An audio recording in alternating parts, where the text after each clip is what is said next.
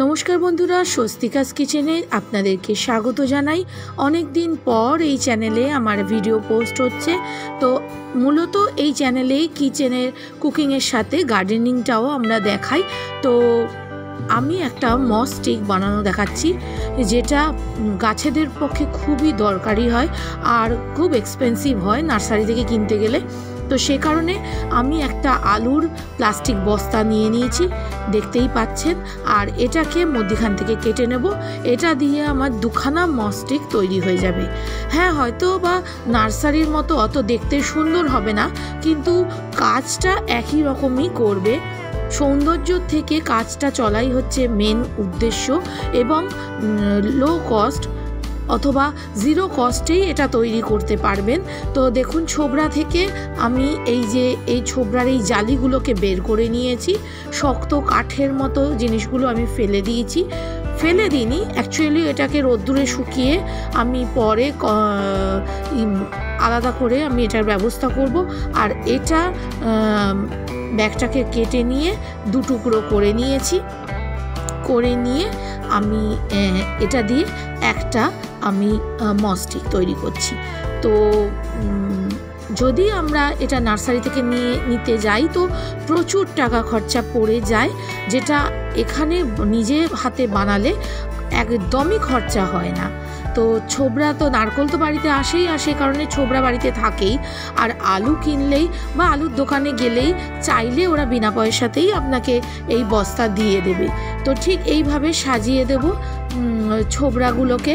যেগুলো রোয়া, যেগুলো আছে ছোবড়ার, শক্তগুলোকে বাদ দিয়ে আর ঠিক এইভাবে পেতে দেবো। আর কোনো লাঠি বা কোনো রড জাতীয় যদি আপনার কাছে থাকে, আপনি সেটা ইউজ করতেই পারেন।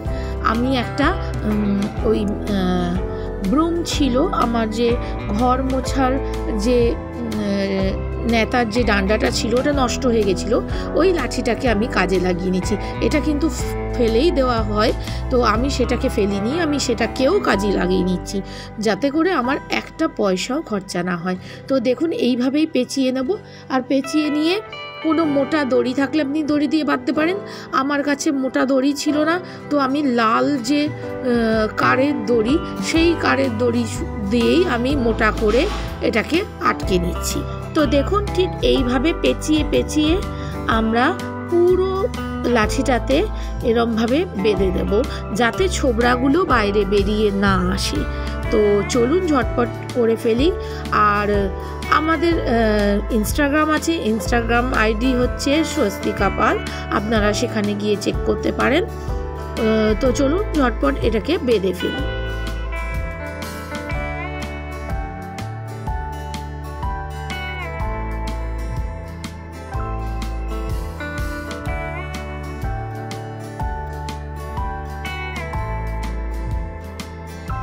তো খুব টাইট করে বাঁধতে হবে যাতে ছোবড়াগুলো বেরিয়ে না যায়।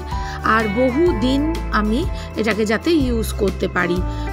তো দেখুন ঠিক এইভাবে শক্ত করে পেঁচিয়ে পেঁচিয়ে আমাদের এটাকে বেঁধে ফেলতে হবে। তো চলুন বেঁধে ফেলার পর আপনাকে এটার কাজটা দেখাই। তো এই যে আমার মস্টিক রেডি হয়ে গেছে। এবার চলুন এটাকে আমরা প্লেস করে দিই। তো আমার একটা মানি প্ল্যান্ট আছে যেটা মানি প্ল্যান্ট তো লম্বায় বেড়ে যাচ্ছে, পাতাগুলোও বড় বড় হচ্ছে, কিন্তু এটাতে গ্রোথ আসছে না, অর্থাৎ এটা ঝাড় মতো হচ্ছে না। তো সেই কারণে এই মানি প্ল্যান্টটাকে এতে পেঁচিয়ে দেবো। আপনি অপরাজিতা গাছেও এইভাবে করতে পারেন জেড প্ল্যান্টেও করতে পারেন।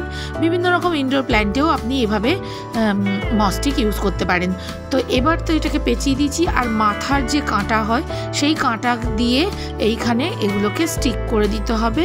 যাতে এর যে ট্রেল রুট যেগুলো আছে ট্রেলিং রুটগুলো সেগুলো ওই মস্টিকের ভেতরে চলে যেতে পারে এবং মস্টিকটাকে জল দিয়ে ভালো করে ভিজিয়ে দিতে হবে। তাহলে এর যে শিকড়গুলো ওই মস্টিকের ভেতর ঢুকে গিয়ে ময়শ্চারাইজার পাবে আর তারই সঙ্গে ওখান দিয়ে নতুন পাতা আর গাছ বেরোবে। তো এইভাবেই আমাদের যে মানি প্ল্যান্ট গাছটা অনেকটাই ঝাঁকড়া আর বসি হবে। তো এইভাবে আমি আমার গাছটাকে সাজিয়ে নিচ্ছি, এভাবে পেঁচিয়ে নিচ্ছি। তো আপনারা কীভাবে আপনাদের গাছটাকে বুশি করবেন, তো সেটা আপনারা কমেন্ট বক্সে জানাবেন। আর দেখতে থাকুন, সঙ্গে থাকুন।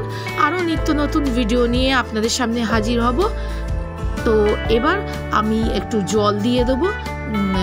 আর ভালো করে যখনই আপনি রোজই গাছে জল দেবেন, তখনই ভালো করে মস্টিকটাকে ভিজিয়ে দিতে হবে। তো চলুন, এরই সঙ্গে আমার এই ভিডিওটাকে এখানেই শেষ করছি। টাটা, বাবাই, ভালো থাকবেন, সুস্থ থাকবেন।